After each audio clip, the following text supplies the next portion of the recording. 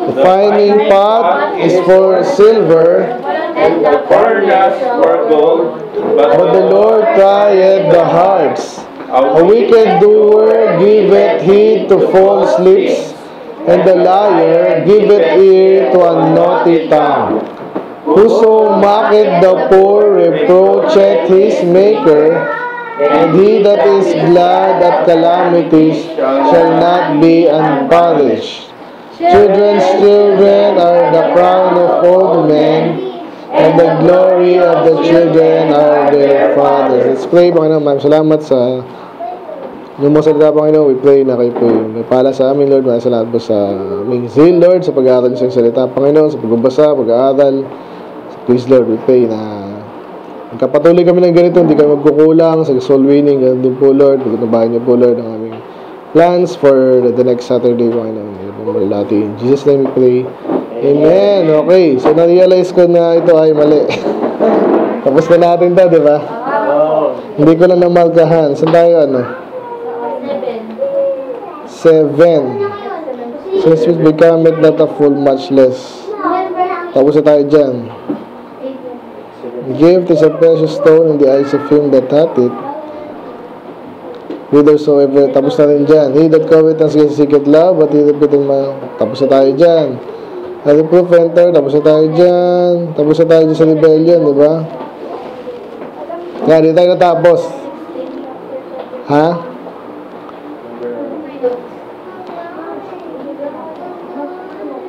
Oo nga, oo nga. Tapos na to.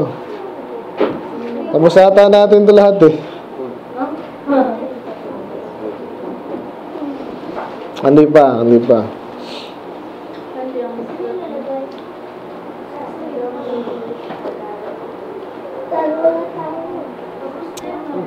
Sixteen lang. Find no good in the use of strike, a man of wisdom strike at hand the surety. Okay, sige. Sa 16. 16 tayo, last. Wherefore is the is there a prince, a price in the hand of a fool to get wisdom, seeing he hath no heart to it. Ano sabihin nun? Ulitin natin na, wherefore is there a price in the hand of a... Ano sabihin na wherefore? Ha? Is there? Is Dalawa yan eh. Is there? Ano po? Is there? Is there? Is there a price? Wherefore is there a is there a price? Ano yung wherefore? Dalawa yan. So, isa yung wherefore is uh, from where? Okay, pero yung isa dyan is why. Okay, kaya sabi dyan, why is there a price in the hand of a fool to get wisdom? Ano yung sabihin nun? Ano yung price? Hindi yan Z, ah. Inabang. Yung, may presyo. o, ano yung sabihin nun?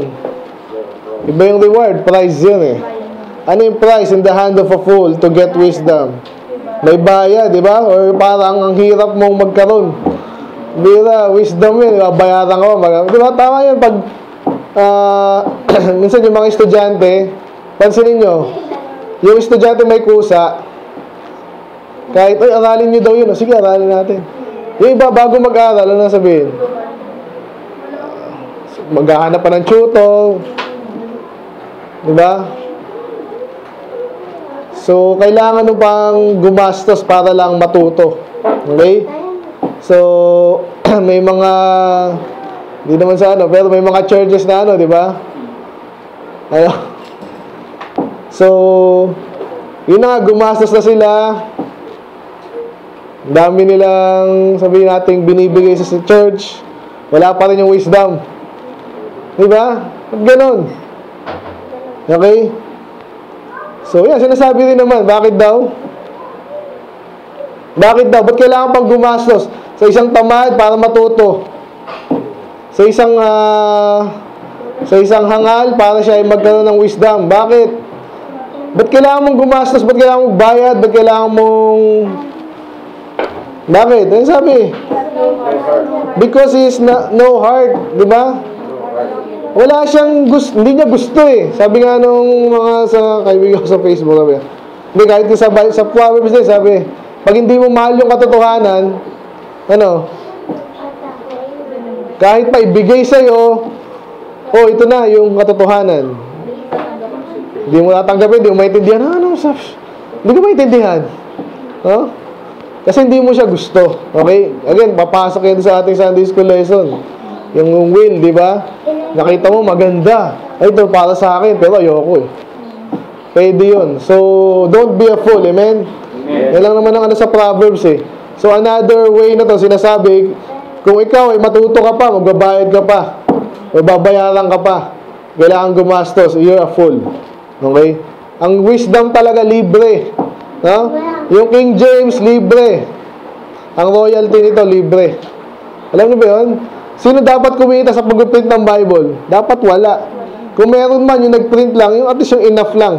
Pero walang royalty yan. Unlike yung mga bago ngayon, kasi palibasa nga, mga buhay pa yung mga nag-publish yan eh.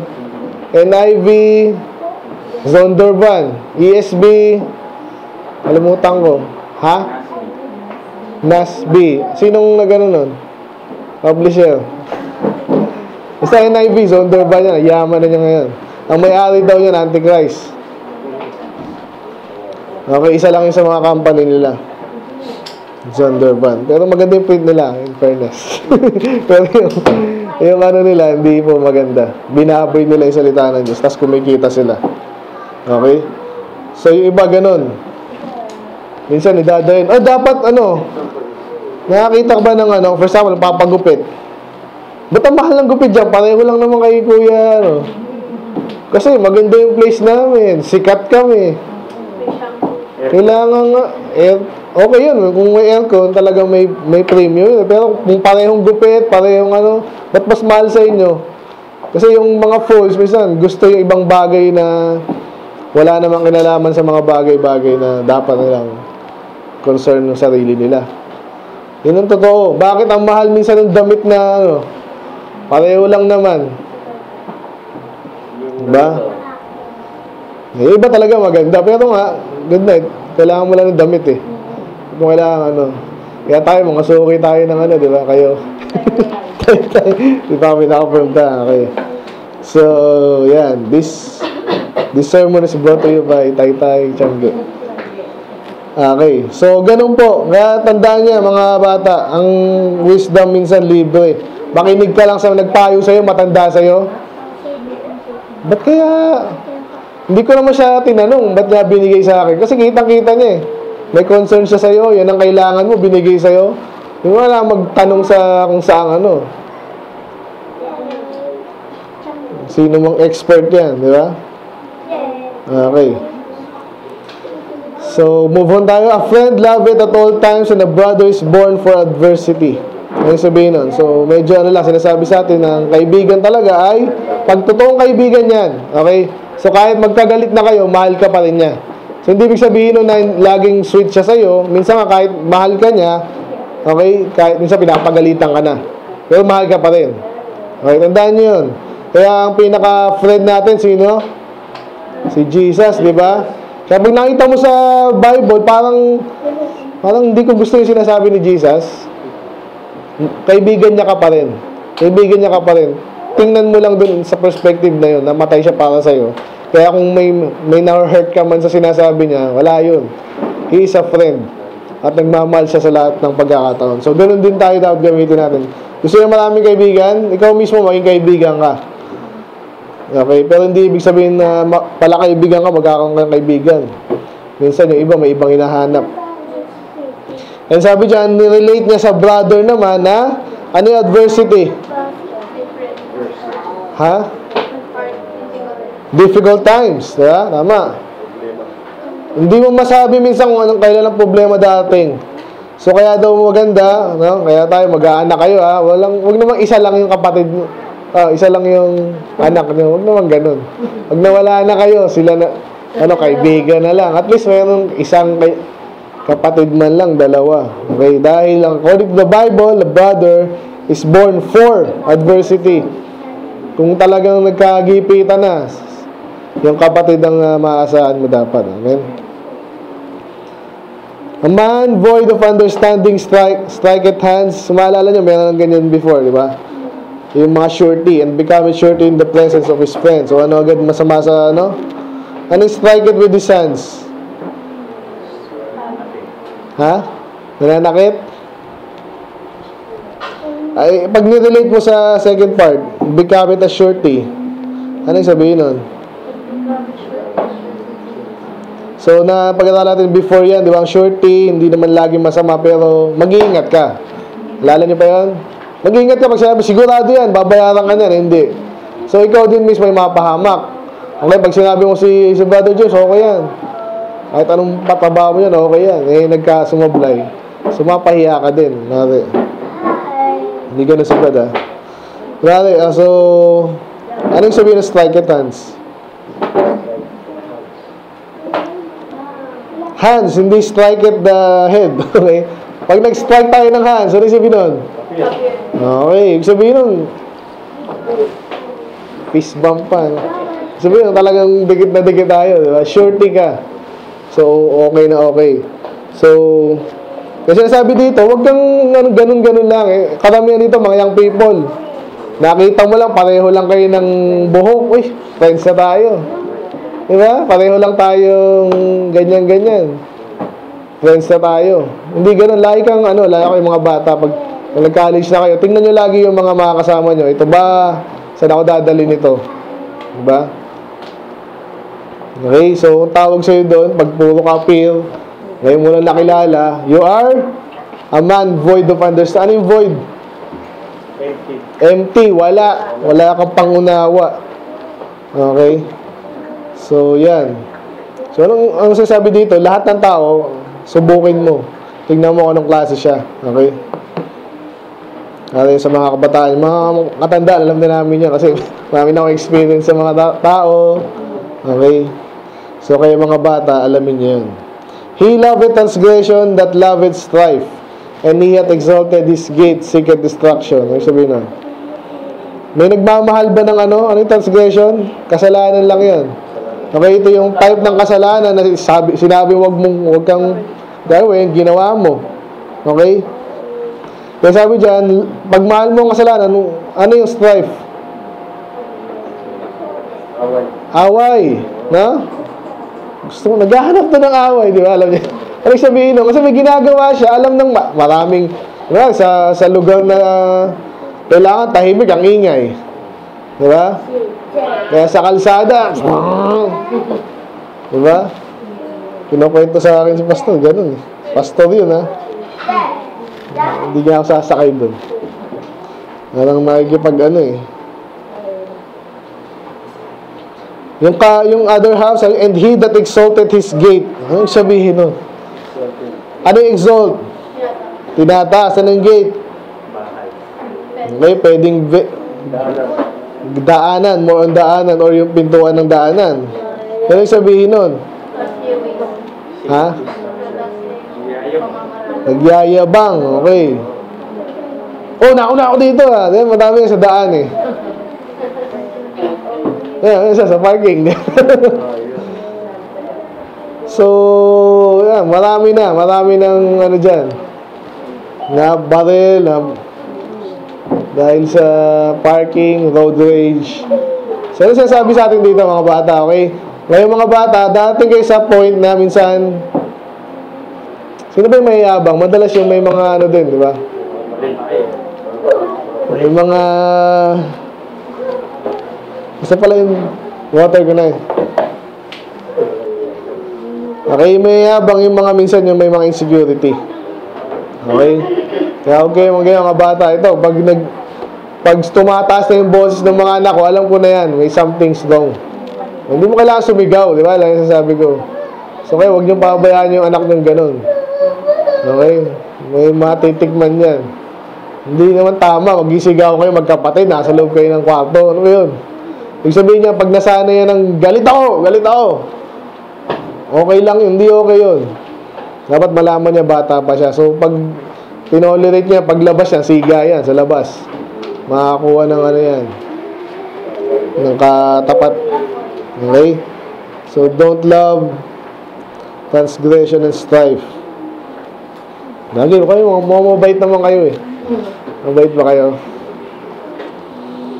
He that hath a forward heart findeth no good, and he that hath a perverse tongue falleth into mischief. So, parehong negative. So, ano gid yung forward? Nalala niyo pa? Ano yan? Ang dami yan, di ba? Ano yung forward? Yung gagancho agad, forward. Alam ko, matig, matigas ulo eh. Di ba?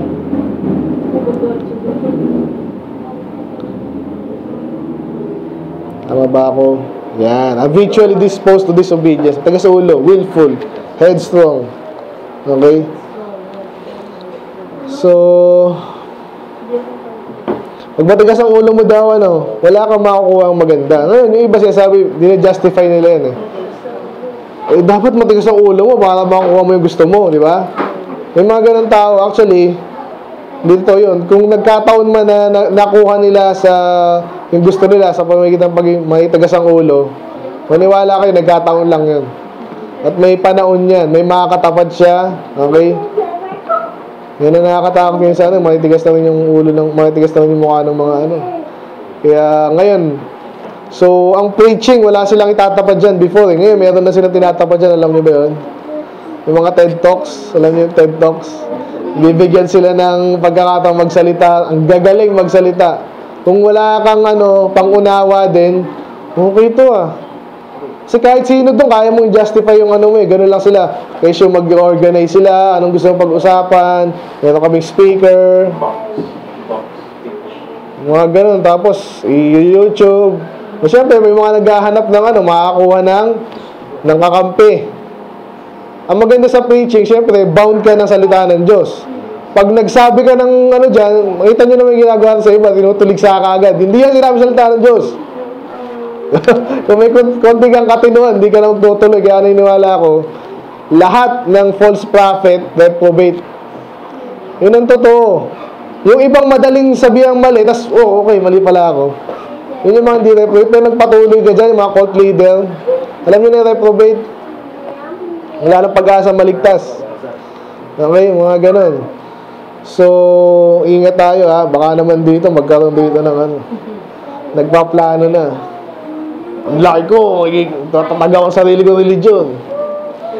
Magda- okay. So, wag kang matigas ang ulo. Yun lang yun. Men, sinong bata dito? Sinong matigas ang ulo dito? Okay, tingnan nga. Yan. So, wag matigas ang ulo ha, mga bata. Matuto kayo sumunod. Very basic yan sa Bible, paulit-ulit. Wala kang patutunguhang maganda, yun ang sinasabi ng Diyos sa'yo. Yung matigas ulo mo. Ngayon, lahat tayo dumadaan sa ganyan. So, pero nga, huwag tayo magtagal doon. Sabi yung, Pen, pang ano, water. Matuyuan na ako. Stephen, tubig, please.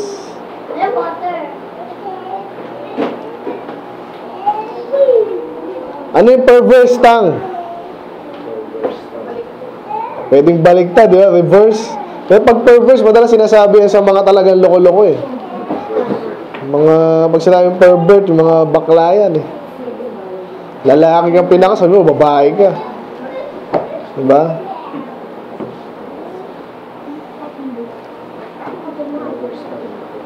Fall it into mischief. So, bakit fall it? Kasi, yung idea dun is parang, kala mo hindi ka mahuhulog, di ba? Ganyan. Ano ginagawa ko? Masama, di ba? Tapos, uy, hindi di ako mahuhulog, nahulog ka. So, spiritually, imagine nyo sa inyo. Kayo mga bata, especially din. Di ba? Itong mga to, natututo na itong ano, sinungaling eh. Kala nila, hindi mahuhuli. Kaya mga magulang, pakita nyo yung judgment no? Pag nag, nag ginawa ng mali, sinungaling pa, dapat matindi. Hindi sila ano, magkaroon sila ng takot. Okay? So, hindi pwedeng hindi mahuhuli. Lahat siya mahuhuli, okay? Kung hindi man, matanda ka na, wala ka na sa bahay, meron ka pa rin paglalagyan. Okay? Nasaan ang kapatid mo? Okay. He that begetteth a fool doeth it to his sorrow, and the father of a fool hath no joy. So ito ay ah, another way of ah, saying yung mga nabanggit na rin natin. Napansin nyo ba na lagi may kinalaman yung pamilya? Diba? Yung nanay, tatay, anak. Kasi dyan nag-uumpisa yan eh. Sabi nga nila, character begins at home. Yun ang totoo pag sa, bu sa buhay, sa bahay, matigas ang ulo mo, hindi ka napasunod. Paglabas mo, magiging bigla, magiging masunurin ka. Wala akong nakita gano'n kahit yung mga classmate ko dati. Pag medyo nakikita kung anong ginagawa sa Facebook, yung iba natuto naman kaso, puro kalokohan pa rin. Yung iba mayaman na, bastos pa rin. Kasi gano'n nung high school eh. Eh, yung mayaman, alam mo yung pagiging mayaman, di na mahirap yung gawin. Sa, sa sanlibutan, minsan nga pinakaloko-loko yun ang mayaman. Neutral yan ang pera. Pwede mong kitain yan. Pero sa Bible, lagi natin sinasabing blessing yan. Okay? Kasi nga, pag ah, sinunod mo yun sa nasa tamang, ano ka, may isa sa mga binibigay ng Diyos na blessing at ah, pwedeng reward sa'yo sa lupa. Pero hindi laging ano yan, laging ah, nakuha lang yan dahil sa righteousness. Hindi. Pwedeng dayain yan. Yung makakalimutan yung lesson na kuha ko sa NIV Bible ko eh. Yung mga side notes lang, okay? Hindi na sa NIV talaga. Hindi ko tinata sa NIV ha. Eh, naalala ko lang kasi yun ang gamit ko dati. Sabi doon, tatlong bagay. Ano? Tatlong bagay yung mayaman ng tao. Una, siyempre, masipag. Yun yung positive. Yung dalawa, medyo hindi mo kontrolado. Ano, kontrolado mo pala isa. Isa is mandaya ka. Okay, yun yung negative. Marami yung mayaman, madaraya, mandurugas. Okay. So, isang medyo mas positive pa, pag pinagpala ka ng Diyos. Ibig sabihin, hindi mo kontrolado, pinanganak kang mayaman, nag-swak yung business mo, nagkataon, talagang swak na swak, mga ganun. So, God-given. So, magsipag, mag ano, pero pwede ka rin yumaman ng mandaya. Huwag niyo gagawin yun. Okay? So, huwag kaya, huwag din tayo may inggit sa mga yan. Okay? So, yan, lagi may kinalaman sa pamilya sa ano, pag matalino kayo. Kung ikaw mismo may ah, problema ka, for example, emotionally, sa pag-judgment mo, balikan mo yung ano, balikan mo yung pamilya mo, naging mabuting tatay ba yung tatay ko?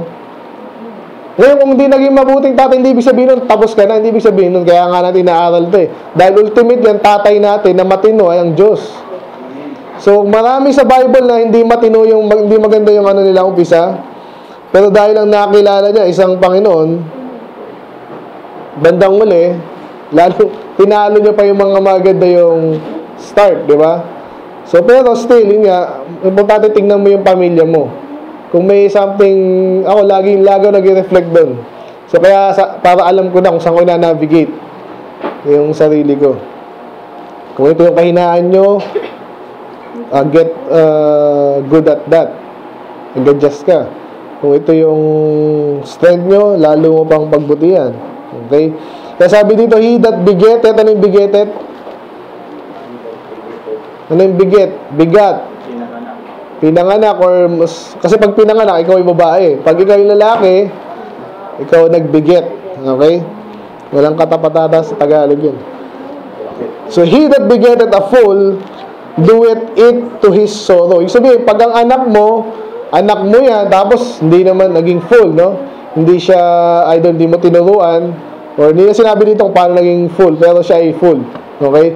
Pag may anak ka daw na loko-loko, mag-aanak ka ulit ng ganun ulit.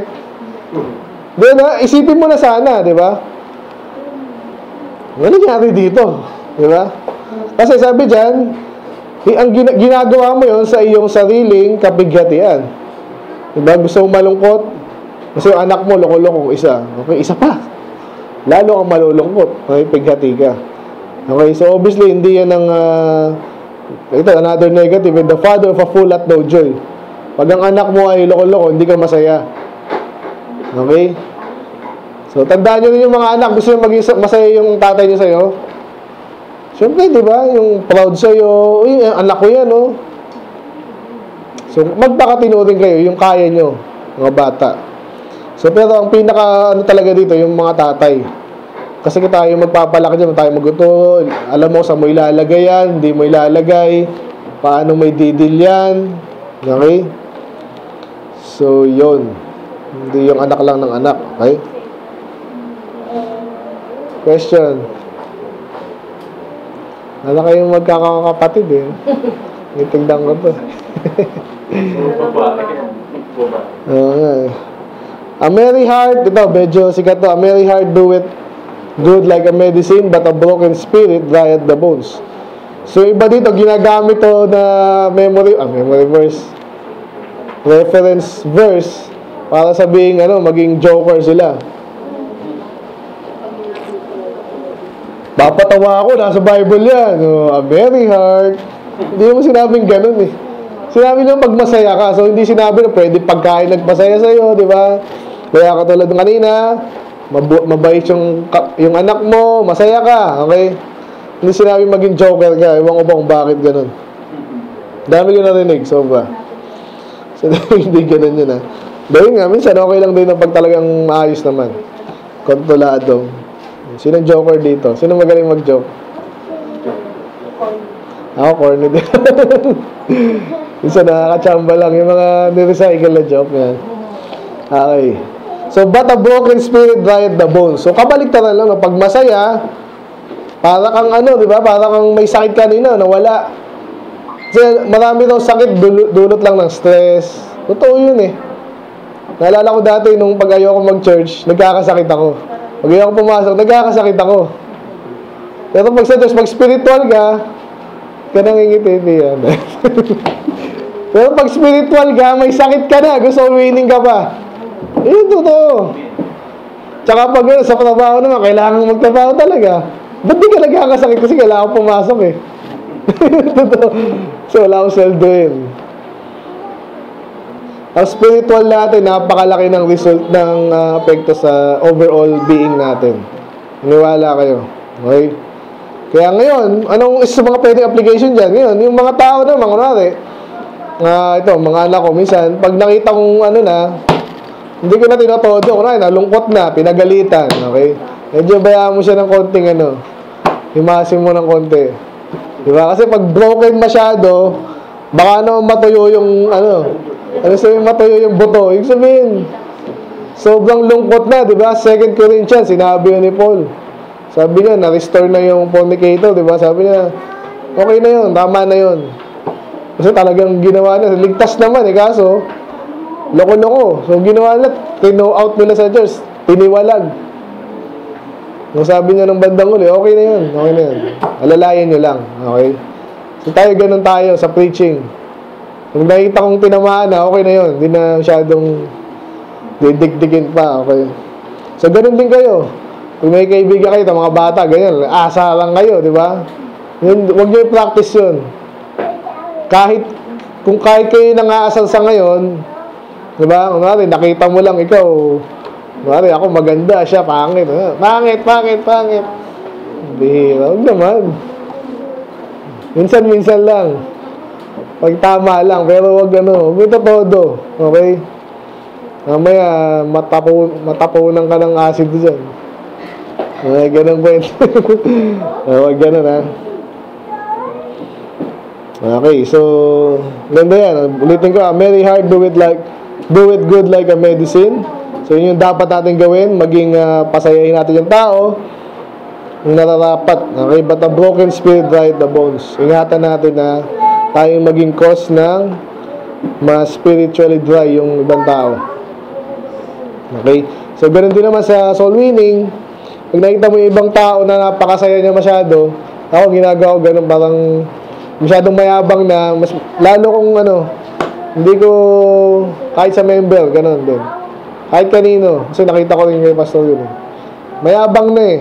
So may confidence na, bayaan mo lang siya, huwag pansinin, alam mo yun. Kasi minsan pag pinapansin mo, tinataas mo pa, finifeed mo yung dapat mong hindi feed sa kanya. Okay? So yung iba naman na medyo napagalitan na, minsan-minsan, uh, i-balance mo para ikaw yung maging tulong niya sa kanyang uh, buhay din. Okay? Babalik din sa iyo by the way. Sa sa mga ministry.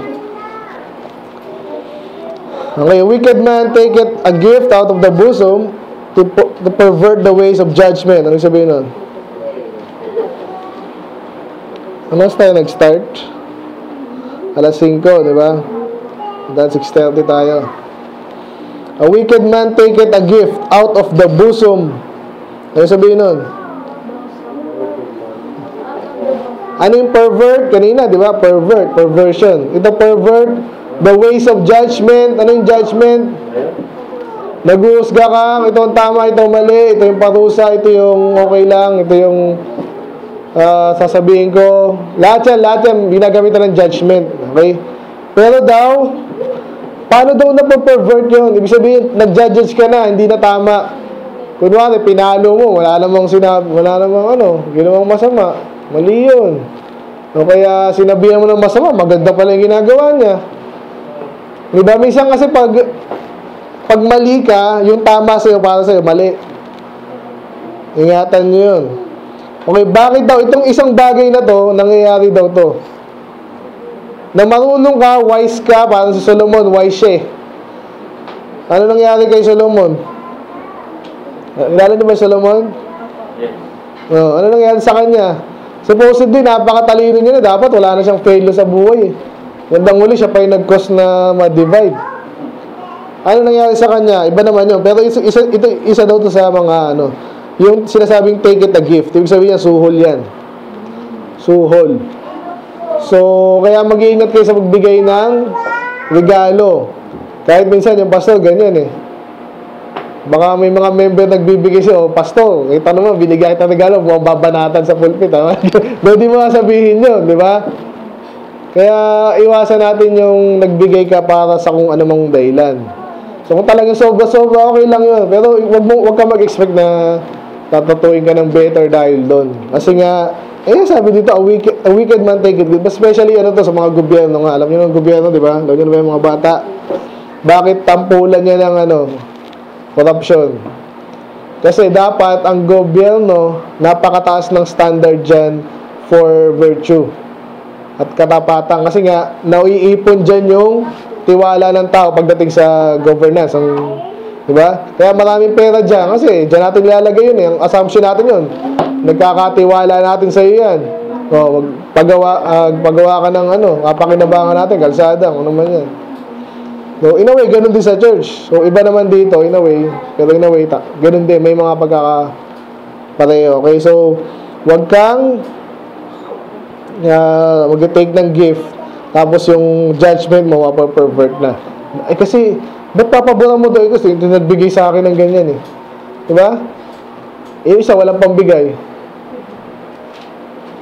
Kaya pinapractice niya yung Bible. Kaya ba't ang kita ibigyan hindi naman kailangan eh sa ibang ah, sa ibang state daw ano eh bawal yung bigyan yung teacher ng regalo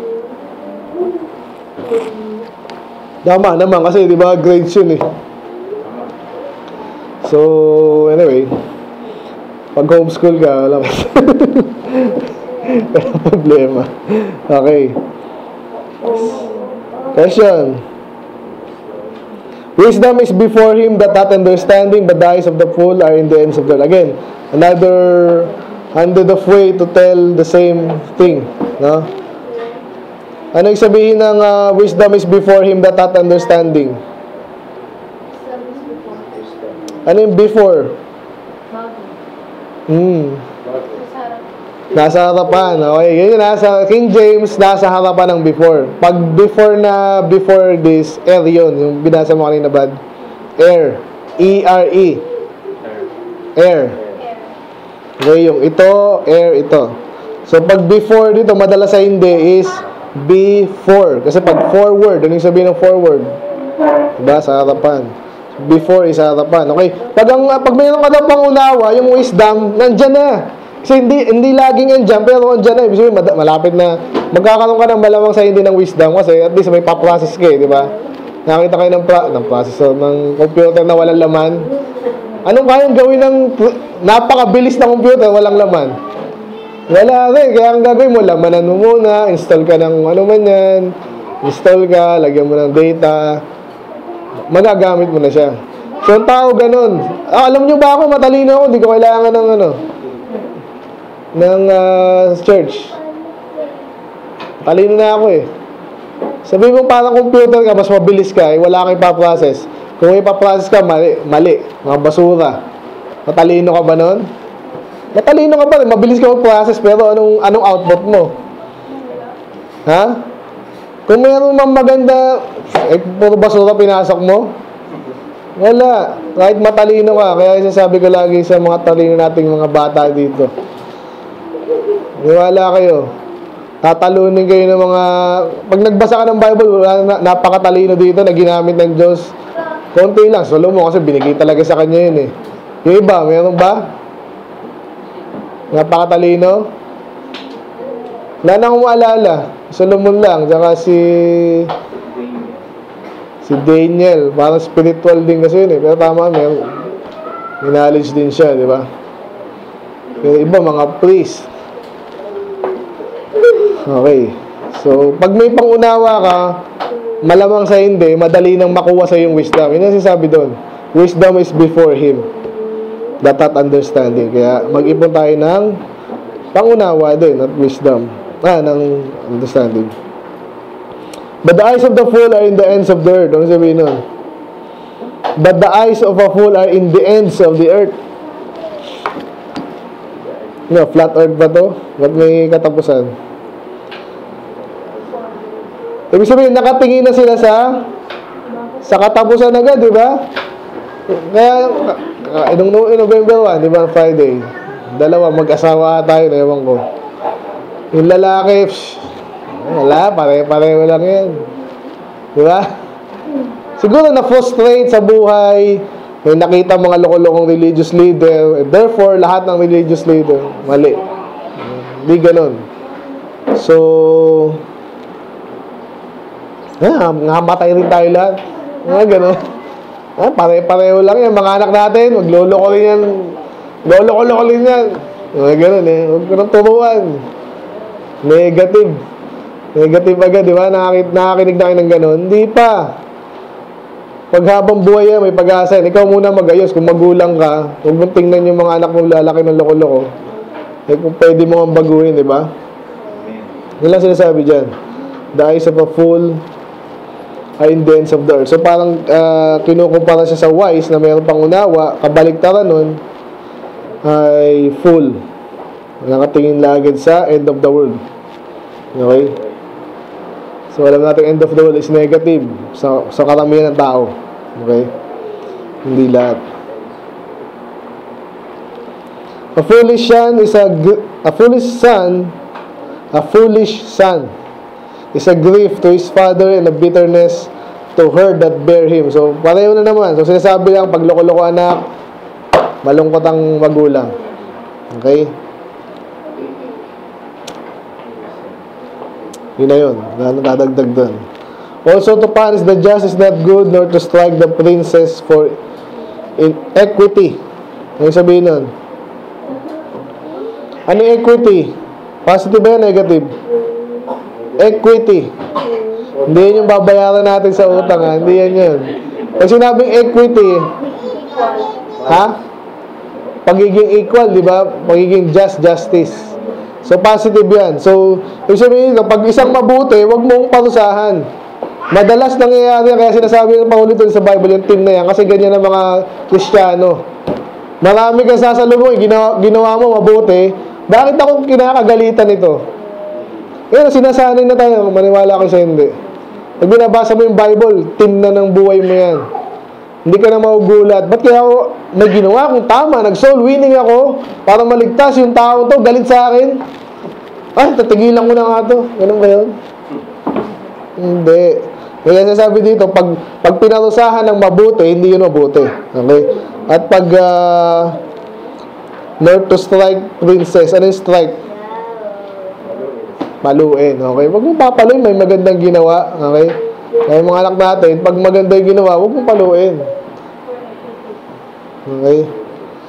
He that hath knowledge spared his words. Ito, naka-highlight to kasi favorite ko to. He that hath knowledge spared his words. Ano sabihin na spare? May spare tire ka ba? Kailan lang, nagpalit ako ng sakit sa katawan. Reserva. Ano yung sabihin ngayon ng spare his words? Hindi basta-basta ang kasalit. Hindi ba sa reserva mo? Kasi alam mo may sabihin ka. Kunwari ito si kunwari may nagano sa'yo. May bala ka na, di ba? Yun. May bala ka. Ginawan ka ng mali. Ipunin mo lang. Actually, kung mahal mo yung tao, yun nga, spare mo pa. Huwag mo kailangang i-ano, alam ni Bad dyan, sa akin, may gumawang mali sa akin eh. Sabi yung, hindi mo na sinabi sa akin. Ito na gagawin mo. Ay, ganun eh. So, hindi ko na, kahit sa misis ko, mga problema ko sa ato, hindi ko na kailangan sabihin yun. Sa atin mismo, ganun. Sa church, lalo na pag lumalaki tayo, problema lagi sa church yung bibig daw. Okay? Pero, kasi nga, ang daling manira eh. Madaling, ah, kahit, wala, sin dito naglalaro ng sandcastle. Ito na naman, dali. Markahan ko lang to. Sinong gumagawa ng sandcastle dito? Sa beach, di ba? Kaya, kasi matibay ito eh. Pero ito, di ba, napakaganda nito. Ito na naman, laging gusto. Ganda nito sa palagi nyo, gaano katagal ginawa to. Sa bagay, robot gumawa. Kaya mabilis din eh. Pero kung ikaw gagawa nito, kaya itong libro, may binabind ako sa akin eh. Nag-print ako ng TR. Yun ang ano ko eh. Pangarap ko, mabasa ko yun. Yung Greek, New Testament. So, ang hirap mag-bind. So, bago ko ginawa yun, bumili ako ng ano, kinat ko ng maayos, mistake, ah, mistake. So, bago ko gawin yun, ang hirap. Pero, ang dali lang sirain nun. Ito, ganyanin mo lang, madaling sirain, di ba? Ganun lang pagkakaibigan, ganun ang church minsan. Pag hindi kayo matibay, ganun yung friendship. Okay, may nagsabi lang siya, alam mo sabi siya ni Brother James, Pastor, sabi ni Brother James, ganyan ka daw. Naniwala agad, di ba? So, ayaw na kitang makita, di ba?